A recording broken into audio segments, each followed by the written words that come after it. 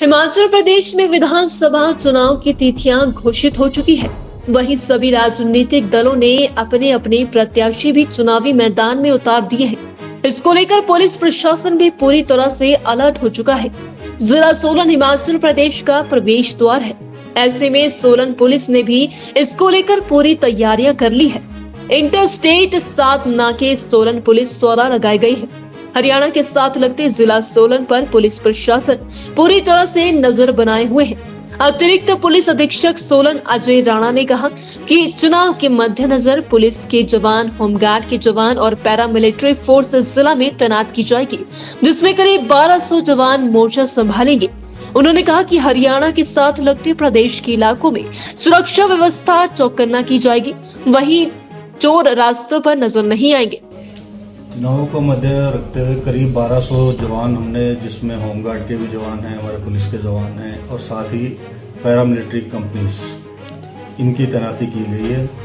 और इसके अलावा साथ ही साथ इंटरस्टेट सात नाके लगाए गए हैं, क्योंकि हमारा जो मेन बॉर्डर है वो हरियाणा स्टेट के साथ लगता है तो उसके सभी चोर रास्तों को कवर करने के लिए सात नाके लगाए गए जो दिन रात काम करेंगे। हिमाचल प्रदेश में विधानसभा चुनाव की तिथियाँ घोषित हो चुकी है।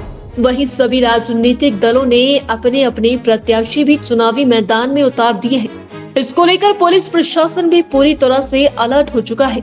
जिला सोलन हिमाचल प्रदेश का प्रवेश द्वार है।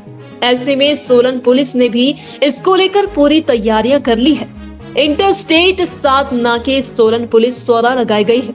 हरियाणा के साथ लगते जिला सोलन पर पुलिस प्रशासन पूरी तरह से नज़र बनाए हुए है। अतिरिक्त पुलिस अधीक्षक सोलन अजय राणा ने कहा कि चुनाव के मद्देनजर पुलिस के जवान, होमगार्ड के जवान और पैरामिलिट्री फोर्स जिला में तैनात की जाएगी, जिसमें करीब 1200 जवान मोर्चा संभालेंगे।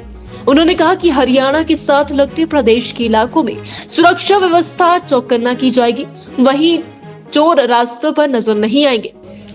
चुनावों को मध्य रखते हुए करीब 1200 जवान हमने, जिसमें होमगार्ड के भी जवान हैं, हमारे पुलिस के जवान हैं, और साथ ही पैरामिलिट्री कंपनीज़, इनकी तैनाती की गई है।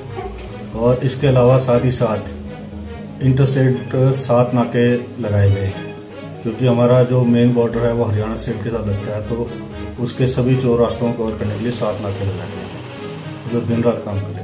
हिमाचल प्रदेश में विधानसभा चुनाव की तिथियाँ घोषित हो चुकी है। वहीं सभी राजनीतिक दलों ने अपने अपने प्रत्याशी भी चुनावी मैदान में उतार दिए हैं। इसको लेकर पुलिस प्रशासन भी पूरी तरह से अलर्ट हो चुका है। जिला सोलन हिमाचल प्रदेश का प्रवेश द्वार है। ऐसे में सोलन पुलिस ने भी इसको लेकर पूरी तैयारियाँ कर ली है। इंटर स्टेट सात नाके सोलन पुलिस द्वारा लगाई गई है। हरियाणा के साथ लगते जिला सोलन पर पुलिस प्रशासन पूरी तरह से नज़र बनाए हुए है। अतिरिक्त पुलिस अधीक्षक सोलन अजय राणा ने कहा कि चुनाव के मद्देनजर पुलिस के जवान, होमगार्ड के जवान और पैरामिलिट्री फोर्स जिला में तैनात की जाएगी, जिसमें करीब 1200 जवान मोर्चा संभालेंगे। उन्होंने कहा कि हरियाणा के साथ लगते प्रदेश के इलाकों में सुरक्षा व्यवस्था चौकन्ना की जाएगी। वहीं चोर रास्तों पर नज़र नहीं आएँगे। चुनावों को मध्य रखते हुए करीब 1200 जवान हमने, जिसमें होमगार्ड के भी जवान हैं, हमारे पुलिस के जवान हैं, और साथ ही पैरामिलिट्री कंपनीज़ इनकी तैनाती की गई है। और इसके अलावा साथ ही साथ इंटरस्टेट सात नाके लगाए गए हैं, क्योंकि हमारा जो मेन बॉर्डर है वो हरियाणा स्टेट के साथ लगता है तो उसके सभी चोर रास्तों को कवर करने के लिए सात नाके लगाए गए हैं, जो दिन रात काम करेंगे